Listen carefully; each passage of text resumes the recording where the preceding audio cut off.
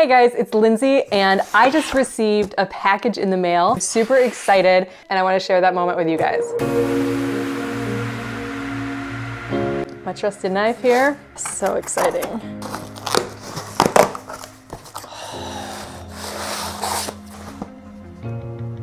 Let's see.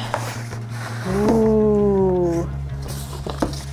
So we have our return exchange policy paper and we have this beautiful box. Very nice, very nice.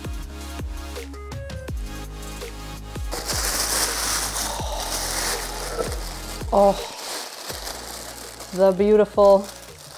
Oh, yeah, yeah. We got the G/FOREs, some new golf shoes. All right, so need some new, nice walking golf shoes.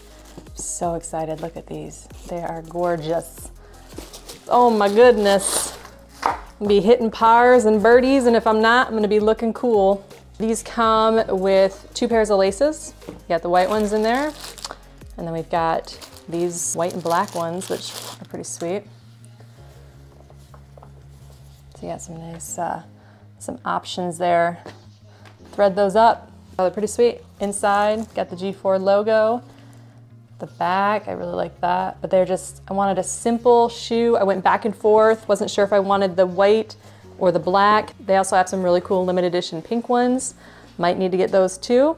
If you wanna see me rocking my new G/FOREs, click the link up here. Again, I'm Lindsay. Thanks for watching and we'll see you on the course.